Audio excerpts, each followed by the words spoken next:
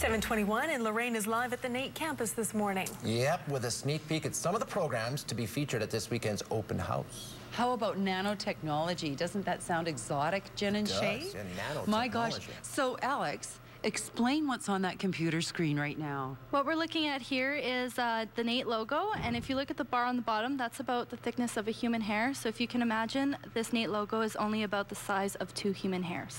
So then the big question is, James, Associate Chair of Nanotechnology, how do you do that? Well, we do that next door in our clean room. Okay, let's take a look. So first of all, nanotechnology, what is that?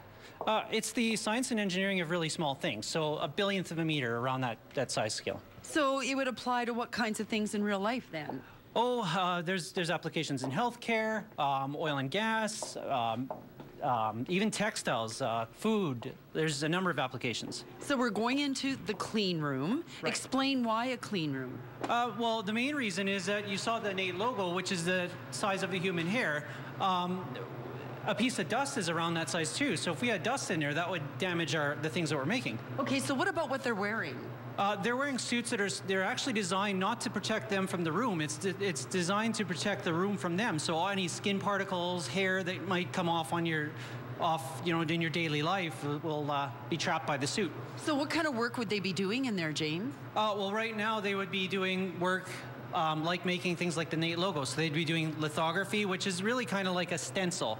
Imagine taking a really small stencil and instead of using a pencil, you're going to shine light through it instead that, that makes your patterns like the one we just saw. So what kinds of things would the students be studying?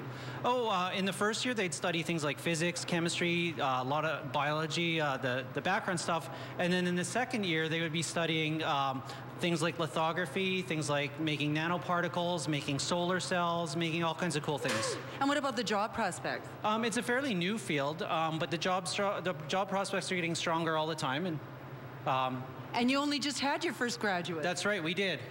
So, Alex, you were telling me that you actually are, you're in your second year. Yeah. And so you'll graduate this year. You're already working in this field? Yeah, I work a couple hours a week part-time at the National Institute for Nanotechnology. And is that where you're going to go once you're done? Uh, hopefully, hopefully there's a spot for me there when I graduate. What's it like being in that clean room? It's uh, it's not too bad. It's kind of fun at first, but uh, it's definitely something that you have to adjust to being in that suit for a few hours at a time. Can you imagine, Jen and Shay? How it's, it's like something from a movie when you look at what they're studying, and that's two years of your life. Away you go.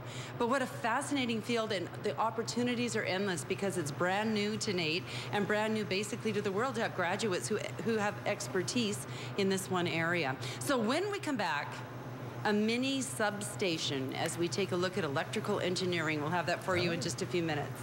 Cool, all right. Thanks, Yeah, that's- That's, pretty fancy looking, excellent. Pretty cool.